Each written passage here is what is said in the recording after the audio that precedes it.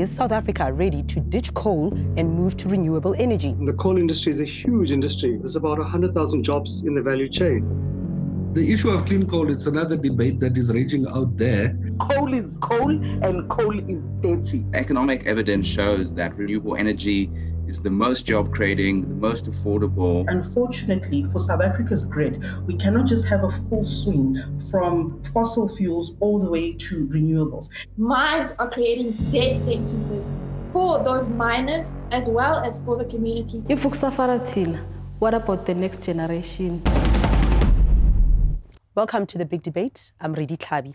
As we burn coal, oil, and gas, fossil fuels, that is, the carbon dioxide and other gases that are released into our atmosphere lead to climate chaos. From the rapid melting of glaciers on Mount Kilimanjaro to devastating floods in Mozambique, poorer countries are bearing the brunt of this devastation. Now, if carbon emissions continue unchecked, extreme weather will become the norm and cause untold harm to food and water supplies. In fact, that's already happening. People will die in larger and larger numbers from famine and drought. Despite suffering the most, poorer nations contribute the least to emissions. South Africa, though, is the worst culprit on the continent. We are coal addicts, and our emissions are some of the highest in the world. We have a abundant sunshine and wind to convert to renewable energy, but we've made very slow progress on renewables. Is that because we're worried about coal jobs or because our leaders are in bed with energy companies? What can we do to urgently slow down the rate of global warming and tackle the effects of climate change? What is the cost to our future? If we don't. Well, joining me for this conversation are Lungile Mashele, energy economist, formerly at the Development Bank of Southern Africa, Matthew Parks, parliamentary coordinator for COSATU. We have Patrick Bond, political economist at the University of Johannesburg, and of course, Michelle Maga, Education Coordinator for African Climate Alliance. And in our virtual audience, we have South Africans who are concerned about a just transition to clean, renewable energy. Welcome to you all, welcome, and welcome to you at home. Remember, you can join our conversation using the hashtag on your screen. Let's start with our audience. Wave at me if you think South Africa's leaders are committed to a just transition. Nobody. Okay, wave at me if you think they're not committed to a just transition. Okay, that's the majority. I really look forward to hearing some of your comments. Lungile, let's start with you. You were an energy advisor at a bank. We know that our banks here continue to invest in fossil fuels. In fact, we borrowed, that is South Africa, we borrowed heavily from the World Bank to build two huge power stations, Medupi and Kusile. Our banks are not creatively investing in rooftop solar for homes, as is happening in other parts of the world. And yet we have this gift, this gift of the sun in South Africa. Why the lack of vision, do you think? There have been a number of banks, um, some of which are, you know, Nedbank as well as ABSA, which ran with the residential solar rooftop projects and they also ran with solar water heating projects. It will alleviate certain issues. However, the country does need capacity. And this is why there was a massive program to embark on the new build, Medupi, Kusile, and Ingula, which is coal and both hydro as well. The problems there were Eskom issues, it was contracting issues, which led to numerous delays. Mm-hmm. Subsequent to that, there was an integrated resource plan which numerous banks in South Africa have participated towards in bringing us renewable energy. Okay, Matthew, let me bring you in here. You are COSATU, you represent labor. We acknowledge and we know that the coal mining sector is a key employer here in South Africa, but it is the biggest contributor to climate change you are an alliance partner. Does your partner, the ANC, lack vision? Or is it hindered by its relationship with labor? They want to protect jobs, but also they've got a cozy relationship with some of the energy companies that have been vying for lucrative contracts here in South Africa. Yeah, look, I mean, the ANC's got many challenges. I think we could spend the whole day discussing the ANC's challenges. Our concern is COSATU and the concern of NUM is about we have an unemployment rate of 44%. But, but, but hold on, Matthew, I can't let you off the hook about ANC corruption. In the context of this discussion, we know that the ANC has, from time to time, gotten into business, Chancellor House, with companies, Hitachi, that are getting these lucrative contracts. Surely that has set us back. And if it continues, it will set us back for many more years to come.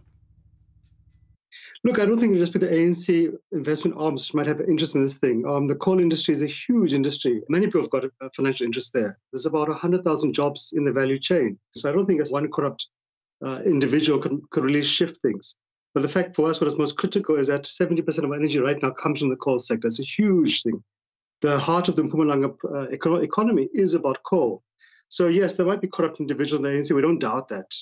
But I think for us, what's the critical thing is the jobs, is the energy supply, and is those uh, communities in Mpumalanga, and how we move that towards a just transition as quickly as possible.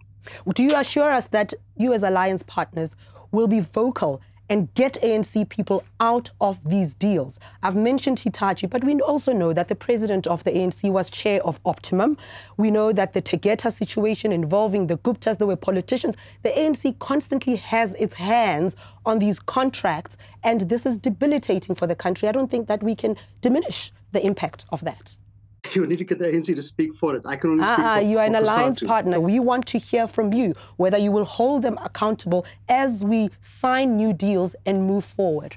No, we've always done that, and unashamedly so. Um, COSATU isn't a part of the alliance, but we've always been an independent part of the alliance. We were the first to say President Zuma must go. Even during the, the Ramaphosa administration, and even part of our Eskom social compact has been specifically to audit all the coal contracts because there's a huge amount of corruption, not just about who has the contracts, but even the supply of the coal to the power stations, because at times people are so corrupt they'll put stones in the coal truck. So we said, look, let's audit all the contracts, the coal, the maintenance, the insourcing, the cleaning, the catering, because there's a nest of corruption at Eskom. That is really what has put Eskom in the deep dark hole it is currently. If you want to save Eskom, if you want to save the economy, we have to tackle the demons of corruption, no matter who's involved, whether they are friends or families. Well, We'll drink to that. We want to see that day. Michelle, let's bring you in here. This is about young people such as yourself whose future is in peril if we continue with business as usual. What is your message today? For us to truly commit to a just transition, we need to properly understand that what youth across the world and particularly in South Africa, calling for is a system change. We need to get to a point where every single person is involved. Currently, with the energy crisis, it's because people aren't being, one, listened to when we look at civil society organizations who are calling on um, government to actually start working toward a just transition. There's always excuses, and we continually hear, you know, we can't turn around the situation overnight, and we understand that. But what has happened? Since we started calling on change. So it's really, really worrisome. And we need them to actually start putting in work for us to start moving toward a just transition. Patrick, let me bring you in here. Why have we made such slow progress in South Africa towards clean, affordable energy? Most of the people, and I include the Department of Minerals and Energy on this, um, they really have, instead of a genuine public interest, they have a minerals energy complex problem. That's what we academics call the sort of power block that goes way back, you know, a century back. And the transition from apartheid to democracy actually opened up more uh, relationships, particularly with multinational corporates. So many of the problems in Eskom, we just mentioned, say, Hitachi bribing the African National Congress. It's not just the ANC, and you know, the most famous case in Eskom might be Danny Odendaal, who arranged that his brother would get the conveyor belt. And that kept breaking. And in fact, the SIU, the Special Investigating Unit, found 139 billion rand with Medupi and Kusile. I would add uh, Valli Moosa, who was the Eskom chair and in the ANC Finance Committee to do that Hitachi deal. And now Cyril Ramaphosa has just made him basically the head of the Presidential Climate uh, Commission. Unless we get really angry about these old guard guys. And, you know, Cyril Ramaphosa was, with Shanduka, a coal mining tycoon. And I think it's that block that answers your question. Why have we been so slow? A second answer, very quickly, is that we're the most unequal country in the world. So I think with the basic income grant, especially if we need to get climate relief and just transition support to communities as we move out of coal, and also communities that are going to be hit hard by the climate catastrophe, like the cyclones that are coming into Mpumalanga. Cyclone Eloise this year killed a couple of dozen. Then we've got a vehicle, the basic income grant, that could start making that just transition quick and much less corrupt. Gareth, from the department, let me bring you in here. Patrick says you're not committed as government to clean energy, to making it affordable because of these deals and often involving people who have shown themselves to be susceptible to influence that is not good for society. In answering that, keeping in mind that a major deal has just been announced by the UK at COP26, where the UK, the USA, and other countries are going to help South Africa's transition from fossil fuels to cleaner energy. There's already concern that some of this money will be used to finance gas projects using gas from Mozambique, and there's already uh, corruption. Your comment? The starting point is that government intent is expressed in the various policy positions uh, that government take on the issue of climate change and climate resilience. The NDP already, when we approved it in 2012, had a specific chapter and specific injunctions that uh, then marshaled government around doing certain things that would move us towards a climate resilient and lower carbon economy. In our case, as the DMRE, through our key policy instrument, the Integrated Resource Plan, provision is made for a gradual move from coal fire based uh, power generation to more cleaner forms of energy, including renewable sources. The IRP, for instance, sets a target for more than 20% reduction in coal-fired use by the end of 2030. Now, it's important that part of this debate really should be, if we then remove the base load, we need to also then have a discussion about what replaces that. And I think that's where the gas debate comes in, and it's quite a, a raging debate. The main sources of renewable energy that we use at the moment is wind and solar, which are intermittent sources. They are not able to provide base load and they need some kind of a backup support. And for now, the option that we have on the table is gas as that backup support to enable an organized transition towards renewable sources. So indeed, it's part of the mix that is being implemented, I think, globally. One of the key aspects that we need to focus on is energy security and market stability. We cannot have a wide swing from the one to the other. Patrick, do you accept that? I mean, the minister has said that as well, right? That we can't just do this radical change. Is gas an acceptable intermediate? If you can do a cost benefit analysis, Gareth, and you put the, it's technically called the social cost of carbon, the damage from methane, this is what we're talking about. It's about 80 times worse on a bad day as an, an emission for warming the planet, although it, unfortunately, that's what um, Andre de Ruyters, the CEO of Eskom, is utterly committed to. There's no just transition when you have somebody who wants to go not from uh, coal to renewable, but from coal to methane. And that locks us in for decades. Once the Mozambique gas has been exhausted, which isn't far from now, then we go north, we go to Cabo Delgado.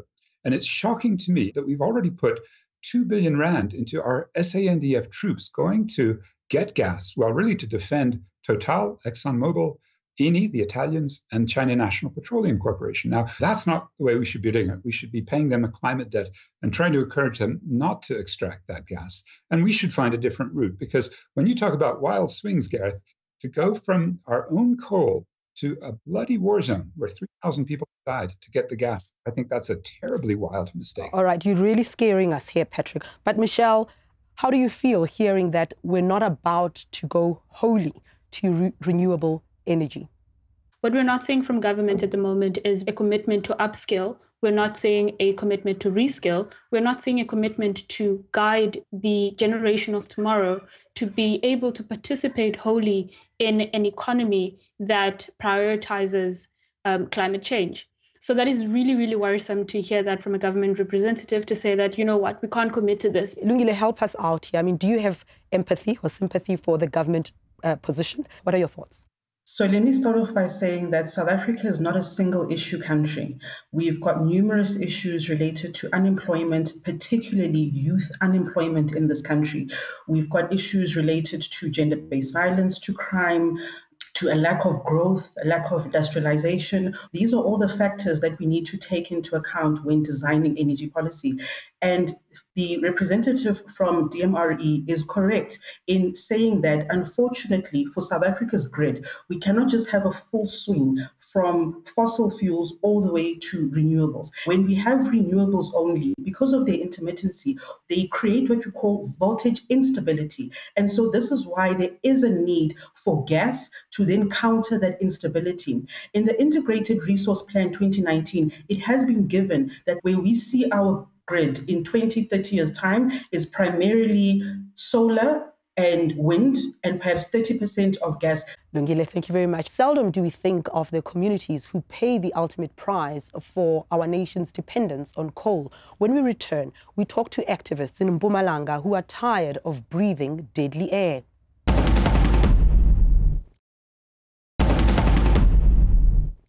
Everyone has the right to an environment not harmful to their health or well being. That's Section 24 of the Constitution. What about the right to breathe?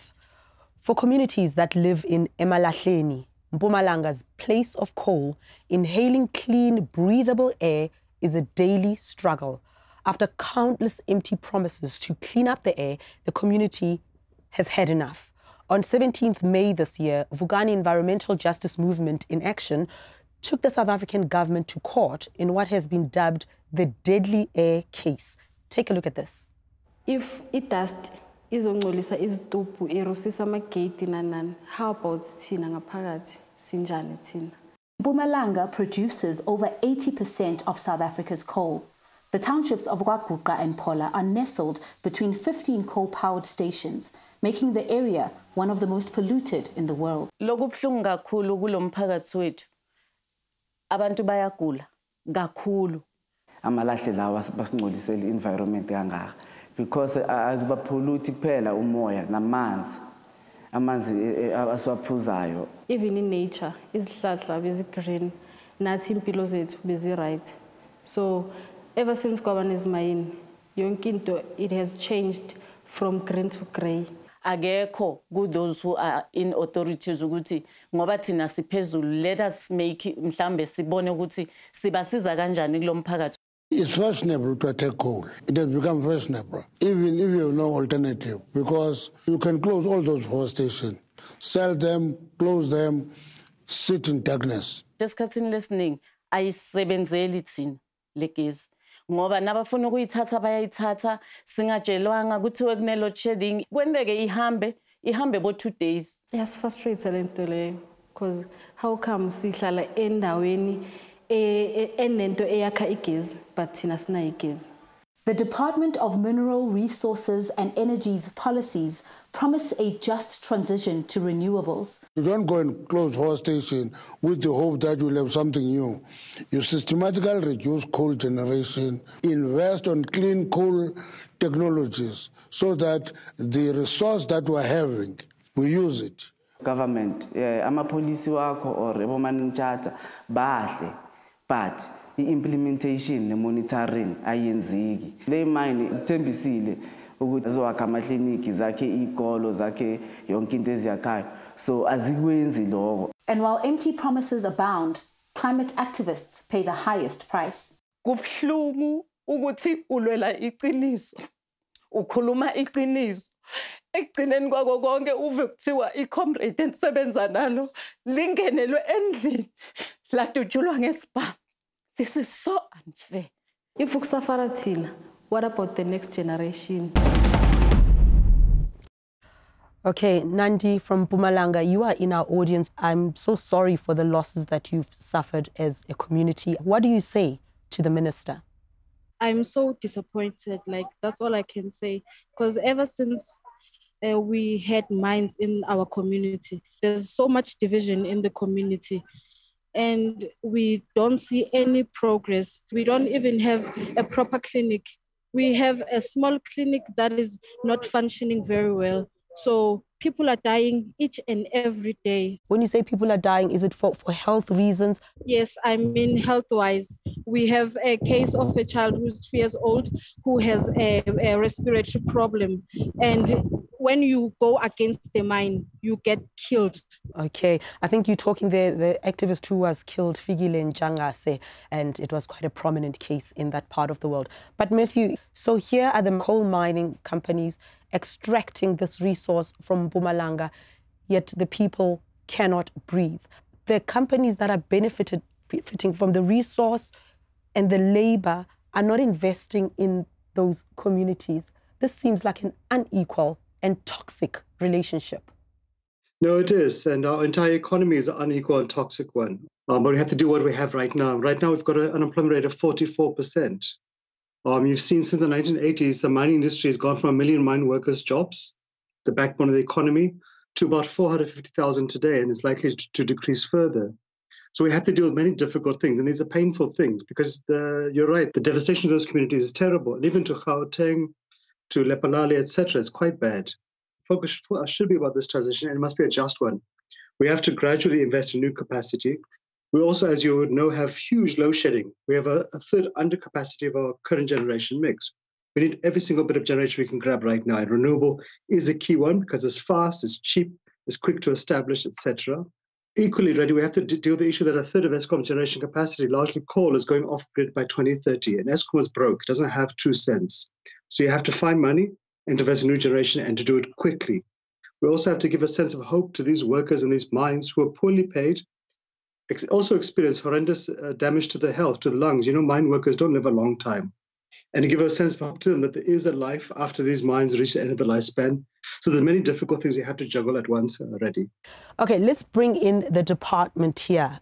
Isn't it government's responsibility to protect these communities? It seems as if they are left on their own while the companies with whom the government gets into these deals just extract what they need without investing in the community how are we going to reverse these bad policy choices? The government must come up with policies that ensure that those who get the most invest the most. Shouldn't they pay some sort of climate debt to communities and households? Indeed, the, the, the challenges faced by communities, I think it is, as Matthew said, it's not just um, restricted to Mpumalanga. We are faced as a country with very, very severe socio-economic challenges, uh, issues of unemployment at a very high rate, uh, issues of uh, poverty, deprivation, and inequality. And then on top of that, we have this uh, challenge of a climate crisis. Mine companies are supposed to have what we call social and labor plans. And I think one of the key areas that we definitely need to focus more on on our side is the monitoring and the processes of making sure that uh, the industry stick to commitments made to the, the communities, especially the immediate communities around them.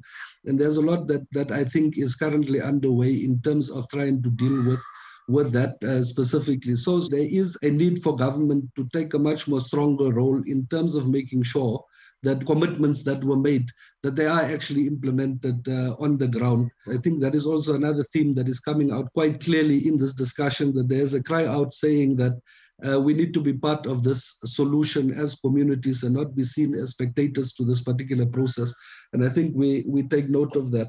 Okay. Patrick you say keep the coal in the hole. You need to keep all fossil fuels underground if we don't want to see the end of our civilization as we know it. Certainly, a, a huge chunk of this problem would be solved if we could get the Glasgow negotiators to actually tell big companies leave them underground, leave these fossil fuels underground, save them for future generations who will use them responsibly. Um, if people like Michelle or Greta Thunberg, if they're furious at our generation, one good reason to be is that we're using the wealth. We're taking the natural wealth, we're ripping it out, and we're processing it with carbon intensive electricity. That'll kick back at us when we start getting climate sanctions. That'll start in 2023 because people like Gareth and Lungile simply haven't given us the commitment to make the changes to renewables and to storage systems like pumped water or the molten solar so we don't have that baseload crisis. And as a result, Redi, we're going to have sanctions by some of our major trading partners on our exports because they are so carbon intensive. Let's hear from our audience. I can see so many people are just desperate to weigh in on this one. Cleopatra, what do you want to say about this? I'm very disappointed on what Gary is saying. And Gary, for your information, as communities who are directly affected, we are not stupid. And we've been coming to your department for decades now, and you are not responding. You are not even showing a human re- remorse that you are sympathizing with communities. All you are concerned is profit, profit, profit. And come I tell you, please pass this message to Mantashe that there is no clean or white coal. Coal is coal and coal is dirty to prove you that coal is dirty and coal is not going to work for us. Uh, Mama Nchanga says that you must know that is in your hands. Together with the Bazooka and other activists, it's in your hands. And our their tears and our tears will one day respond to us. I'm very pissed off and angry. Okay, I, I, I, can hear that, and we know Bazooka was from uh, Xolobeni, and uh, Gareth, I, I do hear the message there in your hands, meaning the Department of Minerals and Energy, not you personally. But these are real cries, and I don't want us to leave here without accounting to the people. They don't believe that government is on their side. And I think she also makes a pertinent uh, point that when it comes to coal, there's no middle ground. What's your response? Thanks to, to Cleopatra, and I think I, I, I do understand the point and I do I do get it. The issue of clean coal, it's another debate that is raging out there. Um, there's a lot of work that we are doing with regards to uh, what we call carbon capture, working with our international partners to look at uh, technologies that can um, uh, enhance our ability to capture and utilize carbon from existing uh, uh, uh, carbon carbon emissions facilities and installations. Technology, by its very nature, is something that needs to be invested in and developed. And I think it would be very wrong of us if we say that we will not even consider something that at the end of the day may make a difference to how we actually exploit the resources that we have currently. Lungile, let me bring you in here. No such thing as clean coal, but also answering the question around nuclear and gas, that they perhaps won't have the capacity to create jobs to the extent that we, we need jobs here in South Africa. Your comment? In terms of gas, yes, it will create jobs. And I want to emphasize this. And, you know, again, that we're not a single issue country. And this is why gas is, has such a huge focus because of the regional impact that it will have, not just for South Africa, but for Mozambique as a country, as well as for all other countries around Mozambique. Looking at utilizing of Mozambique's gas. And this is why there's this, what we call a regional and a gas master plan to grow the region ultimately. Looking at nuclear, nuclear would be the best option if we're talking about zero emissions. The problem with nuclear is the time it will take to construct. You know, of course, there is the perceived corruption around it, but in terms of if we were to look at nuclear, it would certainly work. However, that's a 10 to 15 year plan. And South Africa has an immediate crisis. And each single day that we load shed, for every level of load shedding that we have, that is 1 billion rand flushed down the economy. So yesterday we were load shedding at stage four. That's 4 billion rand lost to our economy just for that. So we need immediate solutions. And these solutions can certainly be found in renewables to a certain extent. And I'm glad that the um, community in Mpumalanga is actually rising up because one of the biggest issues that, that has been lax on has been the environmental caps that they've breached. And time and time again, they've been asking for extensions and extensions. So there needs to come a, a uh, point where Eskom takes this so seriously and the minister is then able to impose not only fines, but actually arrest the CEO of Eskom for breaching these caps as well, because it is unacceptable. And this is where part of the transition has to come from. But but the problem is it must happen at a scale and a pace that South Africa can afford. Otherwise, we're going to end up in a lot of debt trying to fight problems that can be solved in numerous other ways.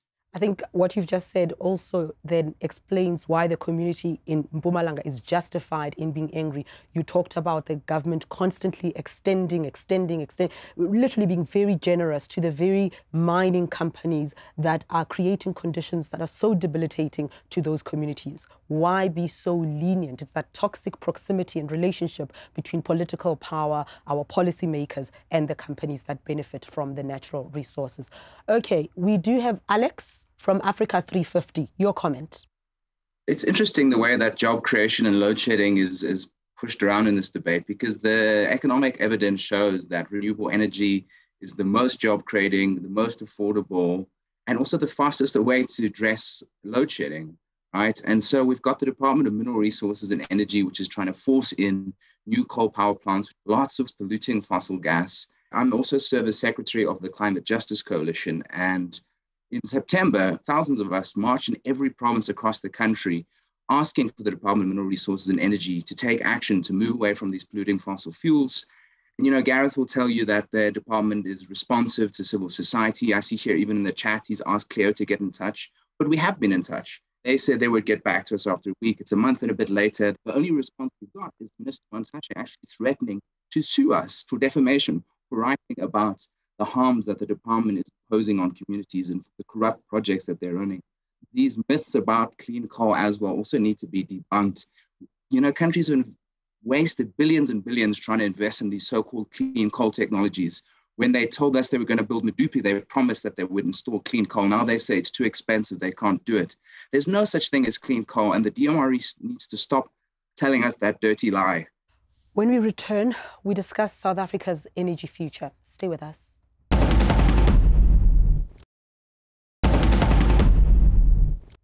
Welcome back to the big debate. At COP26, President Cyril Ramaphosa announced that South Africa is set to receive 131 billion rands to help end our reliance on coal. This could be a leap towards South Africa's renewable energy future, but will it cover the massive cost needed to start the transition? And what should the money be used for? As we move away from jobs in coal, presumably we need jobs in solar energy, jobs in wind energy, manufacturing solar panels would be a lot more jobs, but currently we don't make panels in large quantities in South Africa. So let's let's hear the vision here. Lungile, I'll start with you. What's the vision? There is no vision. There's a disconnect between what government has been saying, which is the DMRE, that we are going to still pursue coal and we're still going to pursue gas, and then there's this deal that is signed. Personally, looking at this deal, we need to trade with extreme caution, number one. So, this money is being granted in two ways. One, you've got concessional funding, which is low interest rate loans. On the other side, you've got grants as well, which makes up a small amount. What we've typically seen in other countries as this plays out is that the grant is then used for studies, feasibilities, and consultants. And that money ultimately goes back to those donor countries because they will insist on their consultants coming and carrying out all that work. Then you've got on the other side the concessional funding. That they are yet to develop a framework. But what we've been told is that it's money to repurpose Eskom's current fleet is for renewables. We're also being told it is um, for the coal community and you know workers, but they haven't really said what they're actually going to do. So Matthew, it sounds as if you as Labour need to be very vigilant because as Lungile says, quite frankly, we, we don't know what's in this deal, what it says about communities and about labor.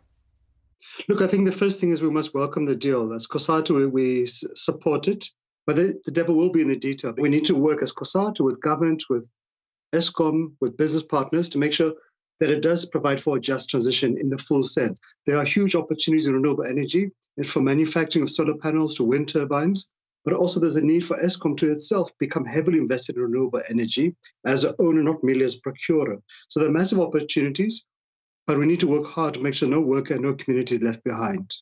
Michelle, as activists, as young people, were you excited when you heard that the United States, the UK, and others are going to give us all this money to help our transition? Not at all. I would like to differ when it comes to welcoming the deal. I think we really need to look at what it means for South Africa and why now all of a sudden we're just being given this money. One of the problems that we're having is that we're hearing this new commitment to clean coal, which is really, really worrisome if we're going to be talking about a just transition. We are going to be committed to continually make the South African landscape more unequal by investing in clean coal the, the vision just does not exist yet, and we can't welcome this deal just yet. We'll be very, very gullible to do that because we don't know what it means for this country. Patrick, I mean, your thoughts on uh, on the deal. How do we know that these grants or loans or whatever you want to call them will not be used to refinance, to boost the coffers of Eskom under the guise of a transition to renewables? Or even worse, that the let me call them the climate imperialist powers, right? And you've just named them: right? the U.S., the U.K., Germany, and France. So they don't have our interests at heart. We don't have to play around with that. They want Eskom to repay corrupt loans. The World Bank made its biggest ever loan for uh, Hitachi to basically buy the ANC. And what we really need is to declare that as odious debt. And it can be done. There's plenty of cases where if a corrupt regime have taken on loans that are in the interests of you know maintenance of corruption, not serving us with electricity, they can be defaulted on. It's in international law. And so what the climate imperialists don't want is for us to have that discussion about where Eskom could actually get money, which is by not paying back these odious debts. Because a last point is that as our currency declines, we have to pay back not in rands, but in dollars or in euros or in pounds. And that becomes very expensive. So when you hear concessional, please let's keep asking tough questions and ask is this putting our kids in uh, debt for future generations? Michelle's critiques are exactly right, because if it's gas, if it's the so called clean coal, or if it's elite kind of uh, environmentalism like electric vehicles for rich people, then this isn't a just transition. Do you trust Eskom and Sasol to do just transitions, uh, Matthew, when they've been fighting workers, fighting communities, and um, messing the environment their entire uh, uh, corporate histories. I wouldn't. Lungile, should any investment into transitions to renewable energy in any part of Africa be framed in a, in a loan or a grant, given that the rich nations are the biggest polluters? Shouldn't they be paying us? Shouldn't they be giving us the money Absolutely. So South Africa contributes 1.3% to global emissions. However, we are being treated as though we contribute 97%. And ideally, how we would have liked to have seen this is through grants for us to reduce our emissions. Now we're being given loans. And what's very critical is that we're being called a test case. So the likes of the US, China, India, Australia, they've said we're not reducing our coal um, uh, use. In fact, we're going to keep it as it is and we'll find alternative means. So it's almost like it's shoved down the global south because we're desperate for this money. Let's hear from our audience. Ulrich Steenkamp. We need to take care of what, what what's going on in the details of these kinds of things. But the issue is majority of these things are, are getting pushed whilst the core issues are being ignored. Um, yes, the, the, the global north has built their basic uh, number one status on the backs of the global south. And it is time for them to repay. It is also time for them to actually use us to develop in a better way than what the, how they develop, because we can actually now try and get that development in a way that is actually fair and just and environmentally friendly. But instead of that, we are basically copycats and we are now copying what the global north has done in order to get them to be a developed nation. There are alternatives to provide baseload energy, but we are ignoring them because we are so addicted to our fossil fuels and we are so scared of just saying to the big companies that have these special pricing agreements, listen, you're paying less for electricity. Electricity prices are going to go up for you guys more than it's going to go up for the communities because the communities, the people on the grounds are the ones that use the least amount of our electricity, but we're paying back to Eskom the majority of it. And that is completely unfair. I believe the department and all of those involved in the energy sector are short-sighted. You can't build the world for infinite development when there's finite resources. We must try and actually utilize the resources that we have in abundance instead of the ones that the, the, the powers that be have built themselves up to be number one. Thanks, Ulrich. When we return, we hear more from our audience.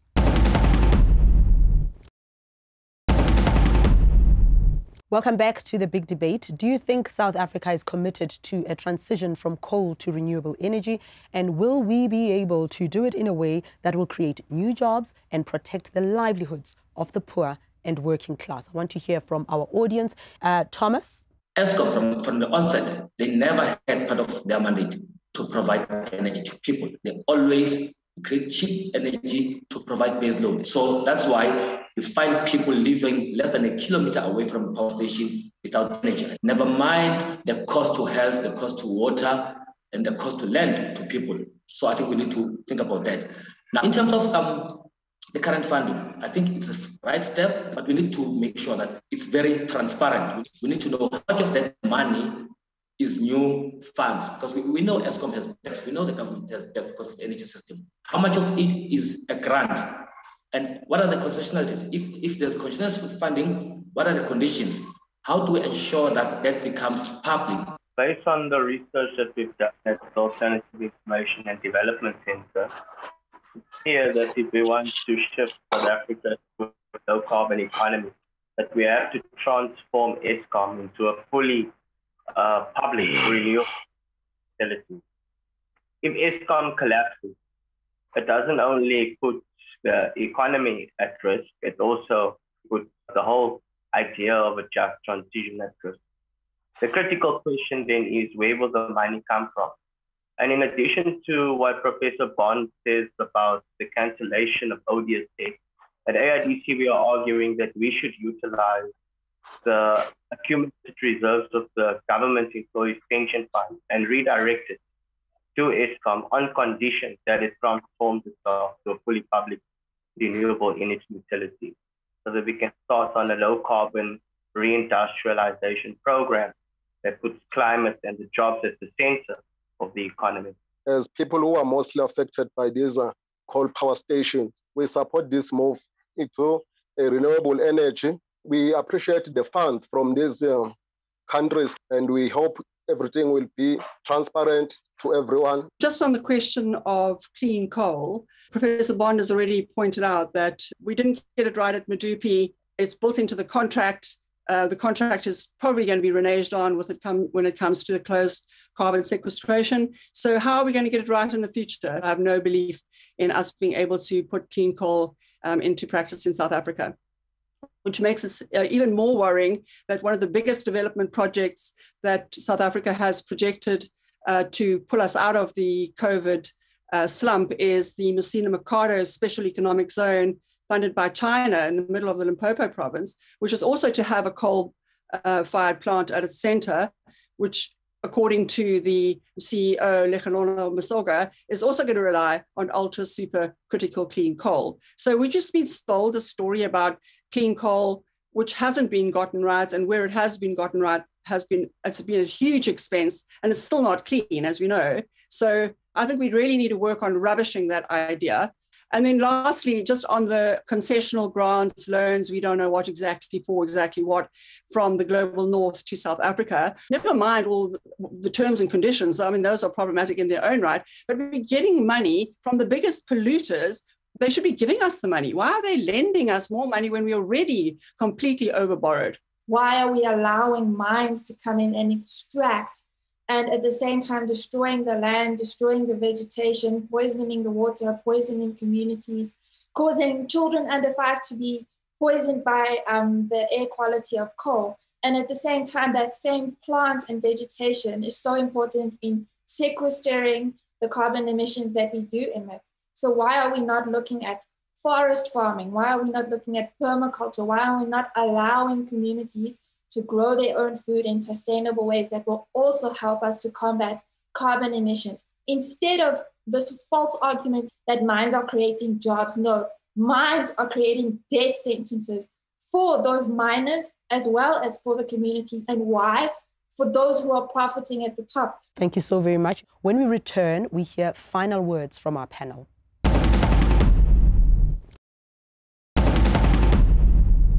Welcome back to the big debate on climate and energy. We're hearing the last comments from our panel. Let me start with Gareth Bezuidenhout. Thank you again for the for the opportunity. It's quite enlightening and some very valuable inputs. In order for us to move towards a just transition as envisaged in the NDP to a climate resilient and low carbon economy, we need to start at the sectoral level. And I think we are doing work in that regard. From the DMRE side, we are engaged in developing a just energy transition framework that is supposed to then inform the IRP and energy policy development going forward. In addition of that, there's a number of government initiatives that are going on. I think critical and key to this debate and discussion is also the fact that we need to bring convergence within uh, government, but also society broadly, and, and in the context of a social compact, be able to drive this just energy transition in a manner that leaves no one behind, and that we focus on the most vulnerable, which in this case is the actual workers in industry in coal, as well as the communities affected by what will ultimately be a very disruptive process to our economy. And Thank you, Gareth. We, we're running out of time. We have to leave it there. Uh, Lungile? We have to strike a balance between socio-economic needs and our need for electricity and to grow the economy as well. There is no doubt about it. We do need to transition. However, it needs to be at a scale and a pace that South Africa can afford, both from a human capital point of view and from a financial point of view. Thank you. Matthew? We're dealing with many crises. We have a 44% unemployment rate. We have coal, mine, and energy workers' jobs at risk. We have towns whose economies are in danger. We have climate change problems. We have a shortage of energy right now, which is going to get worse. So we have to deal with all these issues at once. The finance deal from COP26 is a huge game changer. We must welcome it. It can assist us to deal with all these issues. And I think our last point as COSATU is that we must make sure that no workers left behind, no communities left behind. And in fact, we must actually see how can we multiply the job and economic opportunities, how can we exceed our climate change targets, and renewable energy will be at the center of that. Michelle, the money that we've just got is not going to help us deal with all of the problems that we have. When we start talking about the just energy transition, we must recognize that it falls within the just transition. So we cannot separate the two. And when we start looking at it from there, then we start actually engaging communities and wanting to know how we can move forward together. There is so much that needs fixing apart from our energy crisis, and it is a crisis. And when we start um, treating it like that, we may be in a position to actually move forward justly. A just transition would include the redistribution of land, it would include the redistribution of wealth. So we cannot afford to separate the two because they are linked. Thank you very much, Michelle. Patrick? I'm so impressed that the um, generational anger from Michelle cuts very clearly into what we must do as policy. And what you've done as ever Redi is clarified divisions and clarified what's at stake, including this nonsense of clean coal, it hasn't worked anywhere in the world. We're still getting the gas to methane, even though methane is much worse than CO2. We're still accepting the bona fides of the imperialists who should be paying a climate debt, as should South Africans, especially those of us who are in the elites. There's two words that I learned trying to help in the fight against racial apartheid. And those two now go very well in the fight against climate apartheid and energy apartheid. Manda, away to power to the people. Thank you, Patrick and Matthew, Michelle, and Lungile as well. Humanity faces an unprecedented climate crisis as the world heats up. The future for our children and their children looks increasingly uncertain. With each day that South Africa continues to burn coal, we face the likelihood of extreme weather events, failed crops, and famine.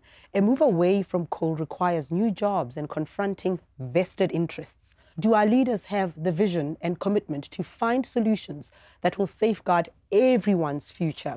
You decide. I'm Redi Tlhabi, and you've been watching The Big Debate.